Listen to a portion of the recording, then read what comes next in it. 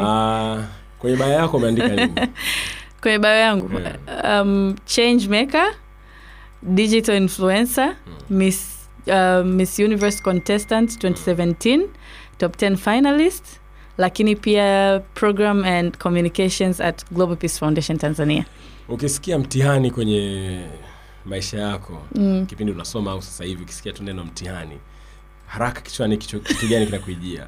Uoga. Mimi naogopa mtihani. Mm. yaani na kusoma kwangu kote na kupenda kwangu kote shule. When it comes to exams eh, naogopa. Uoga wangu utabaki pale pale maisha yangu yote nadhani. Umetaja umewahi kuwa mshi- mshiriki wa mashindano ya urembo. Yes. na kitu gani ambacho kuwahi kukipenda kwenye mashindano hayo?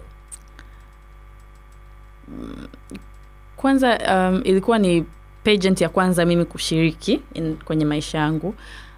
Lakini sikufichi. Nilipenda kila process ya ile pageant ya miss universe. Ni kati ya nadhani kwa tanzania ni kati ya mashindano ya umisi ambayo yako tofauti kidogo kwa sababu kwanza it was all about the brains yani mnashindana mna, mna vichwa yani kuna urembo lakini kuna maswala ya kichwani. Kwao kulikuwa kuna, kuna, kuna, kuna competition kubwa baina ya wasichana ambao tuliweza kuingia kwenye uh, kwenye top 10 lakini pia naamini ni kati ya pageants tanzania ambazo zinasimamiwa vizuri pia zinamlinda mtoto wa kike. Proses zake zote ni transparent lakini wako very accountable na na watu ambao wanadili nao ambao ni sisi wasichana ambao tulikuwa tunashindania hiyo uh, hiyo miss universe elfu mbili na kumi na saba na miss universe zote ambazo zimepita na zinazoendelea. Kitu gani upendi kuposti? Uh, my family. Familia yangu. Mimi binafsi naposti familia yangu occasionally mara mara chache sana lakini naamini kila mtu anaji kila mtu anajichagulia maisha yake mimi na post, yani napenda kupiga picha and i post all the time. Yani marafiki zangu ndugu jamaa na marafiki they're like sylvia unapenda picha unapenda kupost.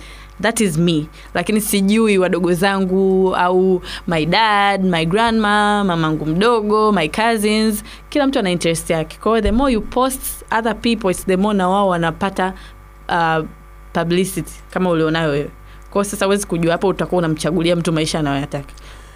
Komenti gani imewahi kukuumiza?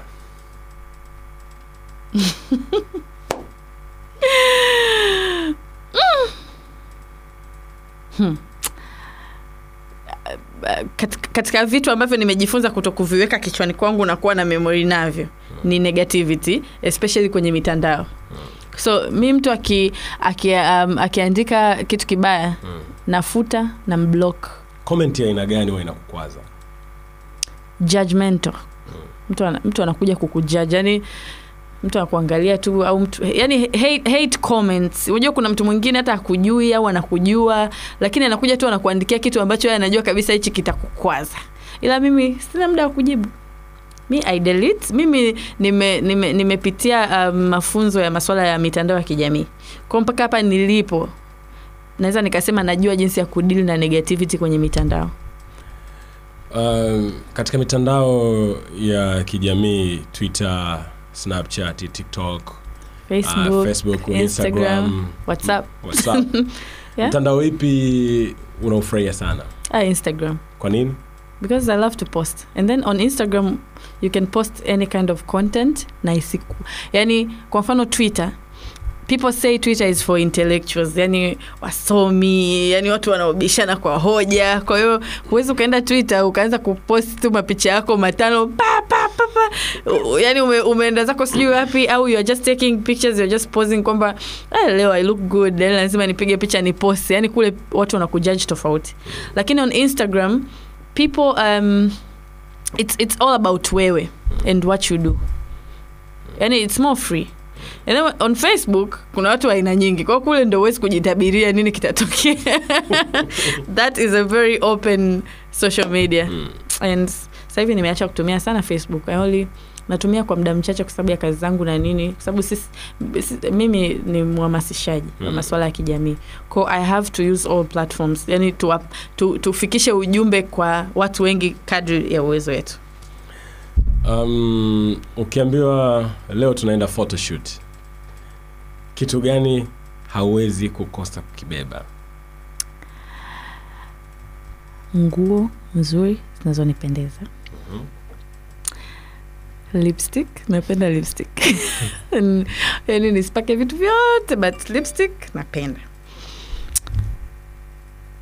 I think mi mwenyewe nijibebe maana hiyo photoshoot ndo naenda kufanya mimi so i have to carry myself. Lazima. Hmm. ni mtu gani huwezi kumpost kabisa? Boyfriends Ah! Okay. Sio okay sio kwamba sipendi lakini eh, kuna vitu nimejifunza huko nyuma. Kwa hiyo maybe sasa hivi i might come to post my future husband mm. Because he will be with me for the rest of my life inshallah. Kwa yule ni mtu ambaye nitakuja kumpost. But for now hmm. keep watching me. Madini gani unapenda kuvaa? Na ambayo upendi kuvaa kwenye vito?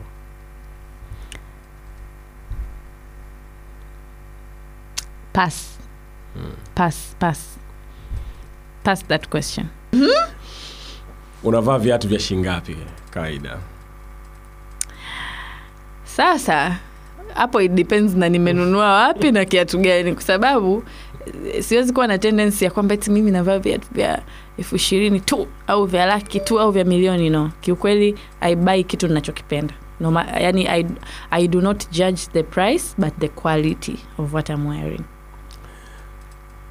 Sehemu gani huwezi kwenda kununua kiatu kabisa ama nguo? Huwezi kuingia kwenda kununua. Na ni sehemu gani utaenda kununua mi nanunua kote. Mm. kwenye botik nanunua kwenye mtumba nanunua. Kwa machinga? Kwa machinga nanunua.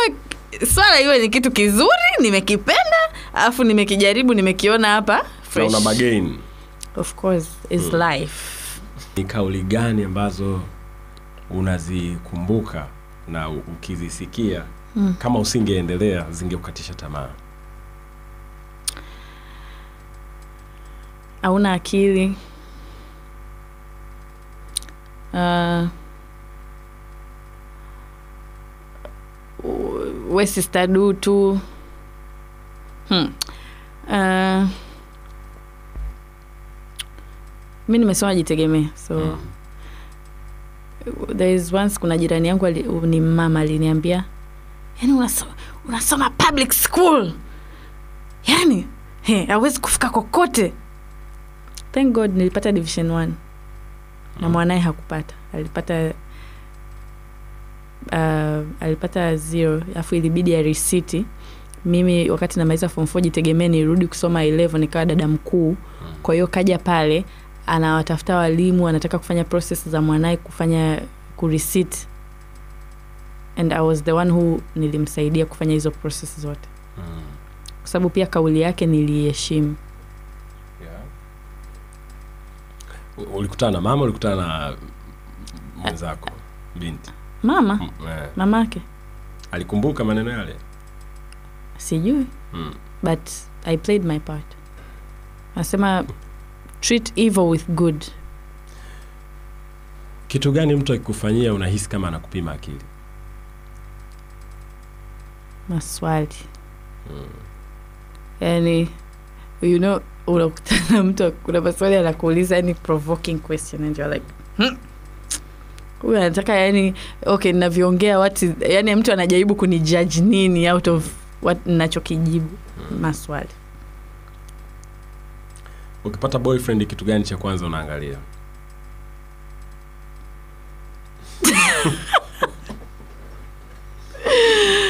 ah, Hmm.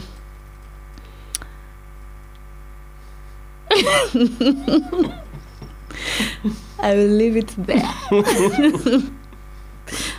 maana niliemea anaweza akaniacha kwa jibu lako usikute hata yeye hana hiyo karakta Mm. wanasema think before you speak mm.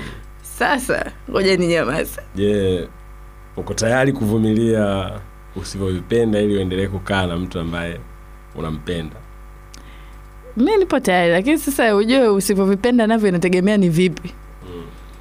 kwa sababu inawezekana wewe uka kuna kitu kingine kwa mwe, kuna, kuna mtu mwingine za kakiona kile ni kitu kizuri afu wewe kwako ndo ukakiona sio kitu kizuri ko unapomjua mtu unapomfahamu mtu ina maana utabeba na weakness. hamna mtu ambaye yuko perfect but uko kwenye kuwa imperfect Im, imperfection yake inakuafekti vipi wewe kwa kiasi gani ambayo it's not easy to decide Mm. hapo hapo just because you are blinded because unampenda. Mm.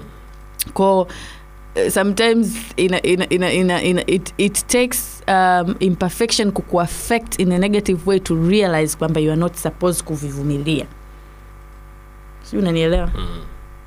umewahi kulalamikiwa kwamba umemwibia msichana mwenzako au rafiki yako bwana wake ah, naamini hayo ndo maisha ya wasichana sisi Mm. maana hata kama huyo mtu kweli hauko naye utaambiwa pia hata kama ni rafiki yako utaambiwa umeniibia Mm.